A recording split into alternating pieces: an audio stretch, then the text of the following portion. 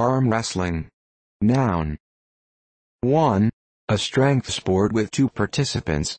Each participant grips the other's hand and tries to pin the other's arm onto a surface.